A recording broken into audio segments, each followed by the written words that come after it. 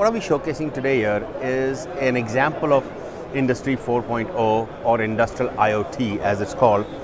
We are using Maxim's ICs to basically implement a fully automated soccer ball testing assembly line.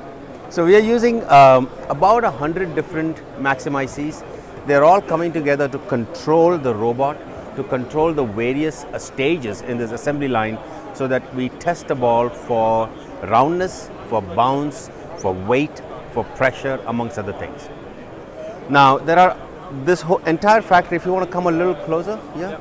This entire factory is controlled by three different controllers.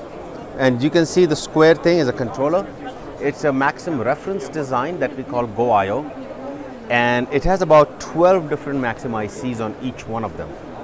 Uh, these guys are not only controlling the entire assembly line, but they're also monitoring the health and the status, which means the temperature, the pressure, the vibration, the proximity of various things within the factory. All in all, there are about 21 different sensors inside this factory. Maxim controllers are controlling the factory as well as like I talked about the 21 different sensors that are controlling the motion of the robot as well as they're providing health and status information about the factory.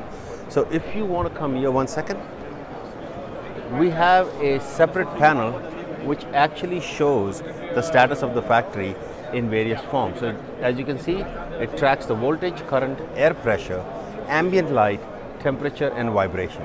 So this gives us a sense of how the factory is performing and gives us early warning indicators if something is about to go wrong within the factory. Maxim uh, uh, enables Industry 4.0 by creating ICs that enable smaller form factor and very low power and therefore very low heat dissipation systems. Now one prime example of this is our latest implementation of a PLC reference design called GoIO. GoIO is approximately, is first of all, it's smaller than anything else out there in the industry. It processes about 17 different I.O. channels and it fits in the palm of your hand really. Um, we can go over there and you can take a look at this. This is enabled by only 12 different Maxim ICs.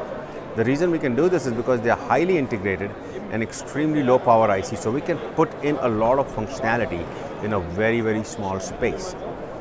The other way Maxim enables this is by having very low power consumption, which results in very low heat dissipation. Now, this is really important in the industrial world because we are running in rugged environments without any kind of active cooling, so there are no fans, as well as it has to operate continuously 24 7 for a period of years. So it's very important that these systems have very long life as well as very high fit rates. So that's why we focus on the heat dissipation.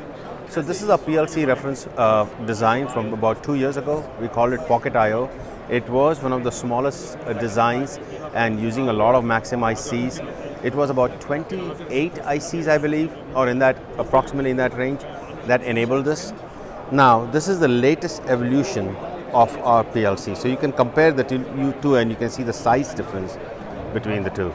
This is comprising of about 12 Maxim ICs and the reason we were able to do so much in such a small form factor is over the last two years the ICs are getting more integrated.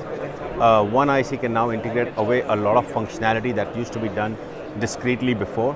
So we can get away with creating something this tiny.